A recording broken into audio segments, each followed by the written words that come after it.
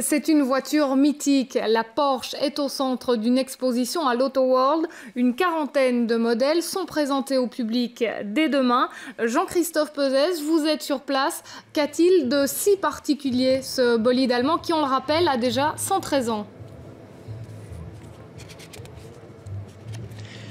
Alors c'est l'histoire, c'est vraiment l'histoire d'une famille en fait euh, que retrace cette exposition. C'est l'histoire de la famille Porsche. Alors elle est, elle est, elle est représentée ici par deux modèles. Alors on regarde par exemple à notre droite, il s'agit de la Loner Porsche. C'est une voiture de 1901.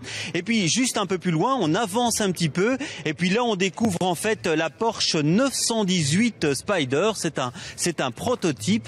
Alors ces deux voitures ont un point commun, c'est qu'elles sont en fait doté d'un moteur hybride puisque euh, Ferdinand Porsche de la première génération a inventé le moteur hybride en 1901. Alors j'ai à mes côtés un spécialiste de l'automobile. Alors Étienne Vizard Porsche, ça reste vraiment un mythe. Hein ça reste un mythe, mais c'est surtout le mythe d'une famille.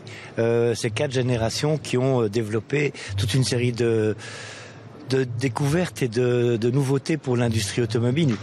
La marque Porsche en tant que telle n'existe que depuis 65 ans, alors qu'ils sont opérationnels dans l'automobile depuis euh, effectivement 1900, donc ça fait 113 ans. Donc il y a toute une série de d'autres marques qui ont au départ profité de l'expérience et de la créativité de Ferdinand Porsche et de son fils Ferry Porsche avant que Ferry Porsche ne crée la marque Porsche. Et qu'est-ce qui fait que, que toute la famille ait eu le virus en fait de l'automobile? Je ne sais pas s'ils avaient vraiment le choix. pour être tout à fait honnête, euh, Ferdinand Porsche, le, premier, euh, était le troisième d'une famille euh, dont le papa était une sorte de quincaillerie, il tenait une sorte de, quincaillerie, et lui était passionné par tout ce qui était électricité en fait.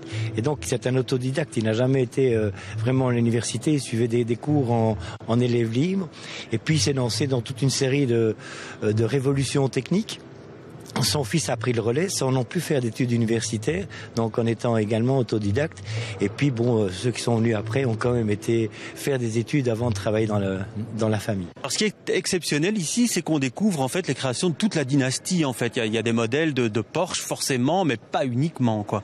C'est-à-dire qu'ils ont tous quelque part quelque chose de Porsche, mais euh, il n'y a pas que des Porsche, puisque euh, Ferdinand Porsche et son fils Ferry ont travaillé pour des marques comme pour euh, qui existent encore aujourd'hui, comme Mercedes ou pour le groupe Auto Union, euh, pour lesquels ils ont créé des, des, voitures.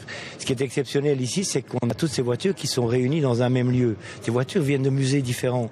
On a un musée, deux musées à Stuttgart, le musée Porsche et le musée Mercedes. Il y a le musée euh, Pierre qui est à en Autriche, il y a le musée Audi euh, euh, à Ingolstadt, il y a la galerie d'Itren ici à, à, Bruxelles. Et donc tout le monde a amené des véhicules et ça permet d'avoir cette réunion qui est, à ma connaissance, unique au monde.